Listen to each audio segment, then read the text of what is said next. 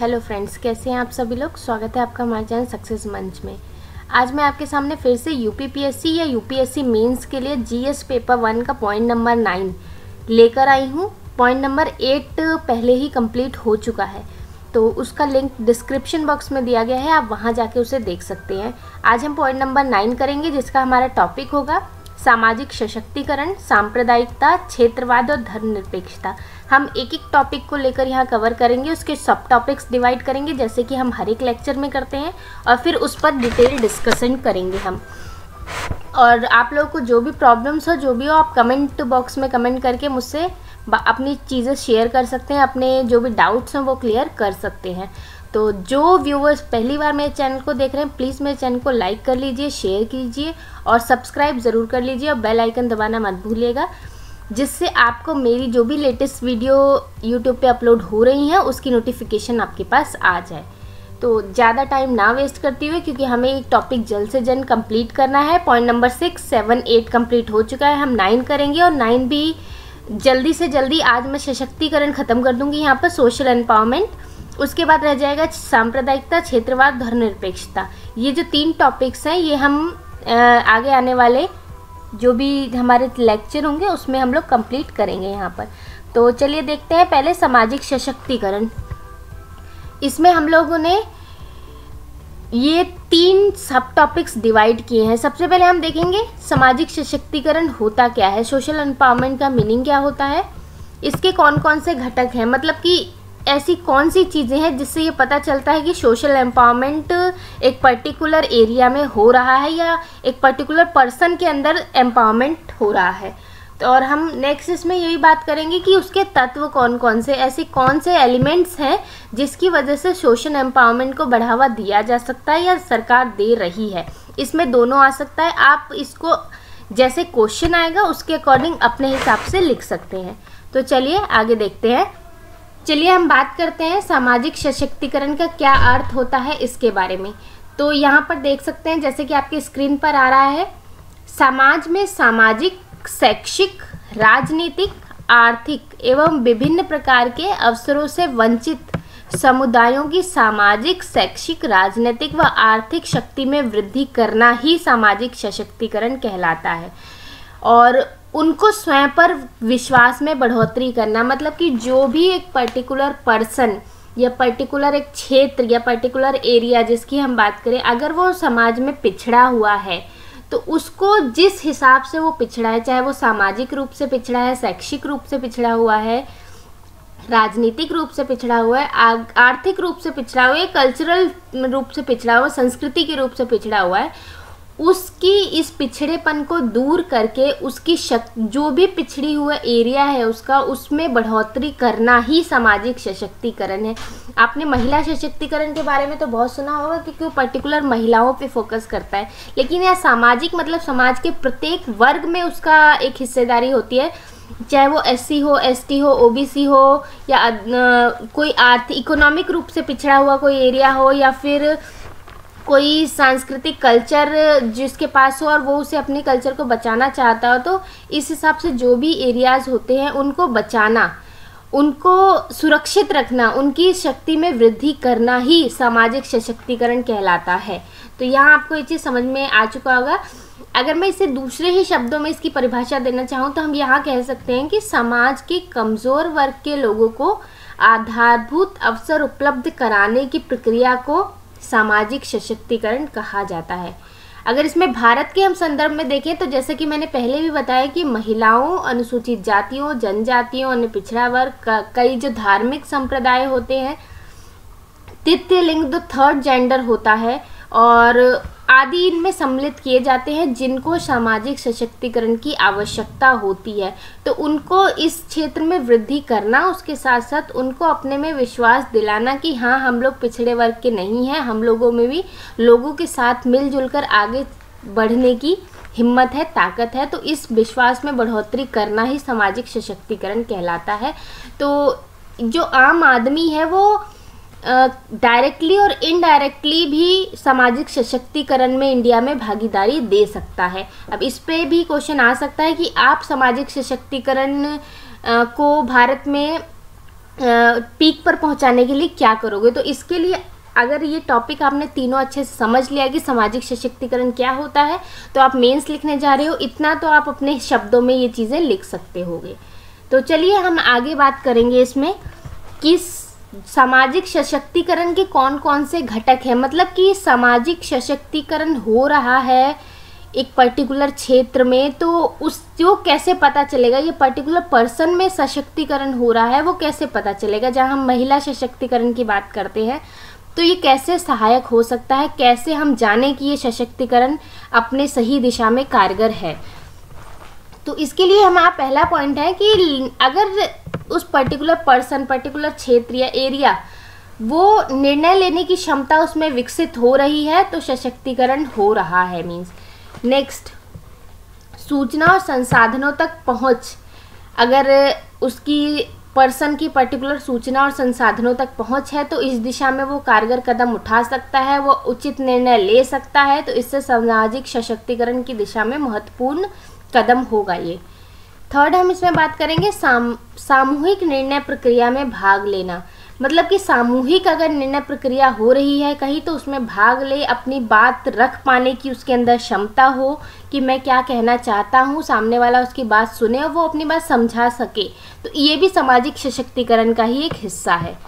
Next हम बात करेंगे विकल्पों का बहुतायत होना। मतलब कि बहुत सारे उसके पास विकल्प हों कि इस दिशा में नहीं तो इस दिशा में मैं काम कर सकता हूँ। अगर ये रास्ता बंद हो गया तो नहीं, दूसरे और भी ऑप्शंस हैं जिसके द्वारा मैं अपनी सशक्तिकरण को बढ़ा सकता हूँ। तो यहाँ पर ये पॉइंट लिख सकते हैं। नेक्स्ट हम बात करेंगे परिवर्तन के लिए सकारात्मक सोच रखना। मीन्स कि अगर कोई क्षेत्रवाद में परिवर्तन हो रहा है क्षेत्र में, या कोई एरिया में किसी चीज़ का परिवर्तन, राजनैतिक रूप से कोई परिवर्तन हो रहा है, आर्थिक रूप से कोई परिवर्तन हो रहा है तो उसके प्रति हमेशा सकारात्मक नज़रिया रखना, रखने वाला होना चाहिए। सामाजिक जो सशक्तिकरण होता है उसके अंतर्गत, क्योंकि अगर वो नकारात्मक नज़रिया रखेगा तो वो अपना तो हे, अहित करेगा ही, साथ में जो भी हमारा एरिया है, उसमें भी एक पर्टिकुलर ग्रोथ नहीं देखी जा सकती है। नेक्स्ट हम बात करेंगे सीख, सीखने की क्षमता यहाँ पर। तो अकेले रह के या स्वयं के साथ या फिर समूह के विकास के लिए सीखने की क्षमता का होना सामाजिक सशक्तिकरण का ही एक भाग है। अगर वो अपने लिए, अपने आर्थिक रूप से मज़बूत होने के लिए, अपना सामाजिक रूप से मज़बूत होने के लिए और या समूह के विकास के लिए, पर्टिकुलर एरिया के विकास के लिए अगर सीखने की क्षमता का उसके अंदर जज्बा है तो सामाजिक रूप से सशक्त व्यक्ति है वो। नेक्स्ट हम बात करेंगे। दूसरे की सोच में परिवर्तन लाने की क्षमता का होना मतलब कि अपनी बात को इस तरह रखना कि दूसरा उसकी बात को समझ जाए, उसकी सोच में अपने हिसाब से परिवर्तन लाया जा सके तो ये सामाजिक सशक्तिकरण के अंतर्गत आएगा। इसमें नेक्स्ट पॉइंट है, विकास में भागीदारी। यहाँ पर होता है कि जो भी समाज में विकास हो रहा है, चाहे वो किसी भी माध्यम से हो सकता है, जैसे मैं यहाँ पर सम, आप लोगों को जो भी मेरी वीडियोस देख रहा है, वो कुछ ना कुछ एक परसेंट ही सही मेरी भागीदारी है कि आप लोगों को अपनी बात रख सक रही हूँ और आप वीडियो देख रहे हैं तो कुछ तो है कि मैं अपनी भागीदारी दे रही हूँ यहाँ पर। तो समाज के विकास में भागीदारी और परिवर्तन की प्रक्रिया में सतत भागीदारी यहाँ पर शामिल होगी सामाजिक सशक्तिकरण के अंदर। ऐसे ही इसमें और भी बात करें तो जैसे कि जो भी कमियाँ हैं अपने अंदर, उनको हटाना और अपनी जो सकारात्मक छवि है, वो लोगों के सामने रखना, ये भी सामाजिक सशक्तिकरण का ही एक घटक माना जाएगा। और जो भी दूसरों की सोच में परिवर्तन है, वो ऐसे नहीं कि नॉर्मली लोकतांत्रिक तरीके से, जो तरीका सही हो, उसके हिसाब से लोगों की सोच में परिवर्तन लाना इसका एक मेन घटक होगा। तो अगर ये जो घटक हैं, इनका हम विश्लेषण करें तो इसके आधार पर हम कह सकते हैं कि सामाजिक सशक्तिकरण हो रहा है या अगर ये प्रक्रिया एक पर्टिकुलर पर्सन में या समाज में देखी जा रही है तो उसका सशक्तिकरण हो रहा है। तो इन सब सशक्तिकरण के लिए, ये सब क्षमता लाने के लिए एक पर्टिकुलर इंसान में ऐसे बहुत सारे तत्व होते हैं जिनसे कमज़ोर जो वर्ग होते हैं, उनको सशक्त बनाकर विकास की मुख्य धारा में इन्हें शामिल किया जा सकता है। तो ये कौन कौन से तत्व हैं? पहले हम उनकी बात कर लेते हैं। तो सामाजिक सशक्तिकरण के लिए तत्व यहाँ मैंने फोर मोस्ट इंपॉर्टेंट तत्व की बात की है, बाकी और भी आप इसमें डाल सकते हैं। जो भी आपको लगे, जैसे मैंने घटक बताए हैं, उसी के हिसाब से आप यहाँ पर इसे यूज़ कर सकते हैं। तो सबसे पहला इसमें सशक्तिकरण के मुख्य तत्व होंगे कि अगर किसी समाज को ग्रोथ करना है, अगर किसी समाज में एम्पावरमेंट लेकर आनी है तो उसको ये तत्व तो मेनली कंट्रीब्यूट करने पड़ेंगे। तो देखते हैं, पहला पॉइंट है इसमें सूचनाओं तक पहुँच। तो सूचना जो होती है, वो शक्ति का सूचक होती है। आप लोगों के अंदर जितनी सूचनाएँ भरी होंगी, सूचना से लैस अगर कोई नागरिक होगा तो वो अवसरों का समुचित लाभ उठा सकता है, सेवाओं तक बेहतर अपनी पहुँच बना सकता है, अधिकारों का अपना प्रयोग कर सकता है, और प्रभावी और बेहतर जो मोल भाव करना होता है सरकारी और गैर सरकारी संस्थाओं से वो जवाबदेही सुनिश्चित कर सकता है। इन सब मामलों में वो सक्षम हो सकता है, अगर उसे पर्टिकुलर एरिया जो काम वो करना चाहता है उसके बारे में उसे सूचना होगी तो। अगर उसे ज़्यादा से ज़्यादा सूचना वो ग्रैप्स करेगा तो वो अपने आप को एम्पावर कर पाएगा। अगर हम दूसरी ओर बात करें तो प्रासंगिक और सामाजिक तथा आसानी से समझ में आने वाली सूचना जो होती है, उनके अभाव में निर्धन लोगों के लिए प्रभावी कार्यवाही जो कर पाना असंभव होता है। मतलब कि जो भी, अगर मान लीजिए कोई सुविधा होती है तो वो किसी निर्धन के लिए एक पर्टिकुलर कोई स्कीम चलाएगी। अगर उसके बारे में उस आदमी को सूचना ही नहीं है तो वो उसके लिए आवाज़ नहीं उठा पाएगा और उसका पूरा पूरा जो लाभ है वो नहीं उठा पाएगा। तो इससे उसका एम्पावरमेंट रुक जाएगा। इसमें सूचना केवल यही होता है कि सिर्फ़ न्यूज़पेपर से और उससे सूचना प्राप्त करना नहीं होता, बल्कि इसमें सामूहिक विमर्श होता है, कविता पाठ होती है किवदंती होती है, वाद विवाद होता है, नुक्कड़ नाटक, रेडियो कार्यक्रम इंटरनेट टेलीविज़न आदि, इन सबसे भी सूचनाएँ प्राप्त की जा सकती हैं। केवल टीवी और रेडियो इंटरनेट माध्यम नहीं है, बहुत सारे जो भी मैंने अभी पर्टिकुलर बताया, वो भी माध्यम होते हैं सूचना प्राप्त करने के। सूचना के अधिकार से संबंधित कार्यक्रम है, जो कानून आया है, वो और प्रेस की स्वतंत्रता, विशेषकर जो स्थानीय भाषा में प्रेस की स्वतंत्रता है, वो बहुत ही कारगर सिद्ध हुई है नागरिकों के सशक्तिकरण के लिए। ऐसी परिस्थितियाँ इसने पैदा की हैं, जिसके अंतर्गत भारत जैसा देश है, जहाँ स्थानीय शासन को विकास की कुंजी माना जाता है, वहाँ स्थानीय भाषा में सूचना बहुत ही महत्वपूर्ण साबित हुई है नागरिकों के लिए। तो सूचना का जो पहुँच है सूचना तक, ये सोशल एम्पावरमेंट में बहुत ही महत्वपूर्ण भूमिका अदा करता है। नेक्स्ट इसमें पॉइंट है समावेशन और भागीदारी। समावेशन का मतलब होता है कि सशक्तिकरण का केंद्र कौन कौन सा है? मतलब कि सशक्तिकरण में कौन कौन शामिल है? भागीदारी इन्हीं लोगों को शामिल करने के तौर तरीके तथा उसकी भूमिका भूमिका से संबंधित होती है। हम यहाँ बात करते हैं कि सीमित सार्वजनिक संसाधन स्थानीय जानकारियों और प्राथमिकताओं पर आधारित होती है। इसके लिए आवश्यक है कि वंचित और पारंपरिक रूप से बहिष्कृत अन्य वर्गों को प्राथमिकता निर्धारण और निर्णय निर्माण प्रक्रिया में सम्मिलित किया जा सके। मीन्स कि यहाँ जो सामाजिक रूप से वंचित वर्ग हैं, आर्थिक रूप से वंचित वर्ग हैं, उनको मेनली पहले यहाँ शामिल किया जा सके समावेशन में और उनकी भागीदारी सुनिश्चित की जा सके कि उनको किसी पर्टिकुलर योजना का पर्टिकुलर सेवा का लाभ मिल रहा है या नहीं। और ये जो भागीदारी है, वो कई रूप में हो सकती है। या तो वो प्रत्यक्ष भागीदारी के रूप में हो सकता है, या प्रतिनिधि के रूप में, जिसमें संगठनों और समूहों से सदस्य चुनकर भेजे जाते हैं, उस रूप में हो सकता है। राजनीतिक चुने हुए जनप्रतिनिधियों के रूप में हो सकता है। सूचना आधारित जिसमें माध्यमों द्वारा आंकड़े जुटाए जाते हैं और स्थानीय स्तर पर रिपोर्ट दी जाती है। उसके हिसाब से हो सकता है प्रतिस्पर्धी बाज़ार तंत्र आधारित जैसे कई प्रतिबंधों को हटा के लोगों को ये विकल्प या स्वतंत्रता देना कि वे इच्छा अनुसार कुछ उत्पादित कर सकें या विक्रय कर सकें और सेवाओं का मूल्य प्राप्त कर सकें। तो इस टाइप से भागीदारी सुनिश्चित की जा सकती है सोशल एम्पावरमेंट के अं-, अंतर्गत। नेक्स्ट हम बात करेंगे जवाबदेही। जवाबदेही मतलब उत्तरदायित्व जो होता है अकाउंटेबिलिटी इसमें होता है कि सरकारी कर्मचारी या निजी जो रोज़गार प्रदाता है या सेवा प्रदाता को उनकी नीति, कार्यों, धन के उपयोग के संदर्भ में ये जवाबदेही तय करने से संबंधित होता है। मतलब कि जो व्यापक रूप से हमारे देश में भ्रष्टाचार फैला हुआ है, निजी मुनाफे के लिए सरकारी पदों का जो दुरुपयोग हो रहा है सबसे ज़्यादा कमज़ोर जो तबके के अधिकारी होते हैं कमज़ोर तबके के जो लोग होते हैं, जो आम जनता होती है उसको ये प्रभावित करता है, क्योंकि जो यही वर्ग है, जिसके अधिकारियों तक पहुँच नहीं होती है, वो अधिकारी तक नहीं पहुँच पाते हैं, और सेवाओं का प्रयोग में लगभग वो अक्षम होते हैं, और सेवाओं का लाभ अधिक से अधिक नहीं उठा पा रहे हैं।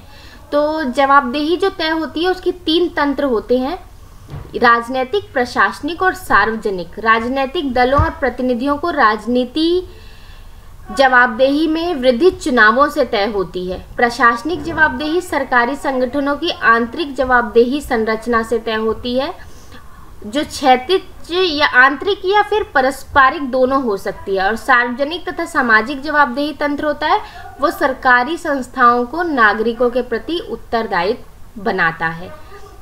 मेन इसमें जवाबदेही की हम बात करें तो जो भी एक डिपार्टमेंट होता है, अगर मैं सिंपल लैंग्वेज में आप लोगों को समझाऊं तो एक डिपार्टमेंट होता है, उसके अंदर क्या नीतियाँ चल रही हैं, क्या सेवाएँ दी जा रही हैं, उनकी कार्य क्या हैं, उनके धन का उपयोग किस संदर्भ में हो रहा है, इन सब चीज़ों की अगर वो आम जनता को जवाबदेही सुनिश्चित करना सामाजिक सशक्तिकरण के क्षेत्र में बहुत ही इम्पोर्टेंट है। अगर कोई पर्टिकुलर एरिया पर्टिकुलर क्षेत्र या पर्टिकुलर देश सुनिश्चित करना चाहता है सोशल एम्पावरमेंट अपने देश में तो वो जवाबदेही को एक मेन क्राइटेरिया मानेगा कि अगर उस देश में जवाबदेही नहीं हुई तो फिर उस देश में हम सोशल एम्पावरमेंट को बिल्कुल भी आ, ये नहीं कह सकते कि सोशल एम्पावरमेंट उस देश का हो रहा है क्योंकि एक पर्टिकुलर जो संस्थान है अपने संस्था के बारे में कुछ नहीं बताएगा तो लोगों को उसके बारे में जानकारी प्राप्त नहीं हो सकती।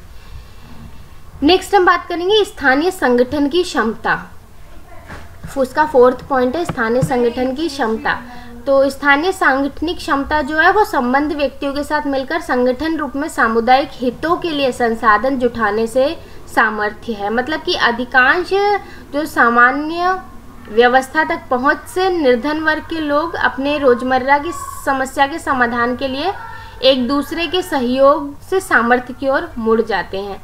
ये जन संस्थाएँ जो होती हैं, वो औपचारिक होती हैं, जैसे कि आपस में एक दूसरे को चावल या पैसे उधार देने वाली महिलाओं का समूह हो सकता है।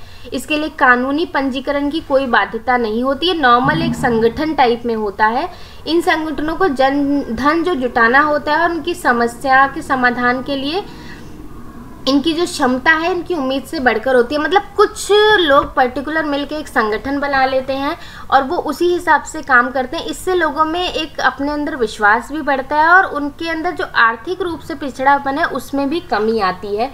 तो यहाँ एक मेन पॉइंट यहाँ पर हम डाल सकते हैं कि अगर स्थानीय संगठन की जो क्षमता है, वो अधिकाधिक होगी तो इससे सोशल एम्पावरमेंट करने में बहुत ही आसानी हो जाएगी किसी भी एक पर्टिकुलर देश को। तो आज हमने बात की सामाजिक सशक्तिकरण का अर्थ क्या होता है? इसके मेन पर्टिकुलर घटक कौन कौन से होते हैं और इसके मेन एलिमेंट्स कौन कौन से हैं जिसके बारे में हम देखा कि इसके आधार पर सामाजिक सशक्तिकरण को सुनिश्चित किया जा सकता है। तो आपको आज की वीडियो कैसे लगी? कमेंट बॉक्स में ज़रूर बताइएगा और मेरे पास बहुत सारे कमेंट ऐसे आ रहे हैं जिसको, जिससे मुझे मोटिवेशन मिल रहा है कि मैं आपसे ज़्यादा से ज़्यादा आपके लिए वीडियोज़ यहाँ पर बनाऊँ और आपका कोर्स जल्दी से जल्दी पूरा यहाँ पर कराऊँ। तो ऐसे ही अपने जो भी कमेंट्स है प्यारे प्यारे से, वो मुझे भेजते रहिए। मेरे चैनल को सब्सक्राइब कीजिए लाइक कीजिए और ज़्यादा से ज़्यादा शेयर कीजिए। Thank you thanks for watching